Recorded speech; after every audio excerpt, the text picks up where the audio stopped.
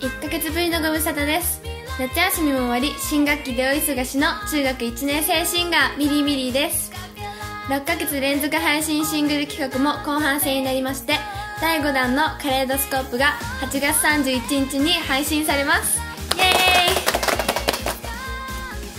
イ！前作の「IMISU」はバラードでしたが今作はガラッと変わって EDM 調のダンスナンバーで夏の終わりにもう一丁盛り上がること間違いなし。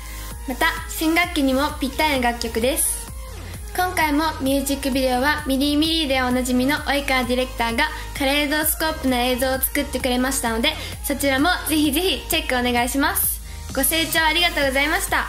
ミリーミリーでした。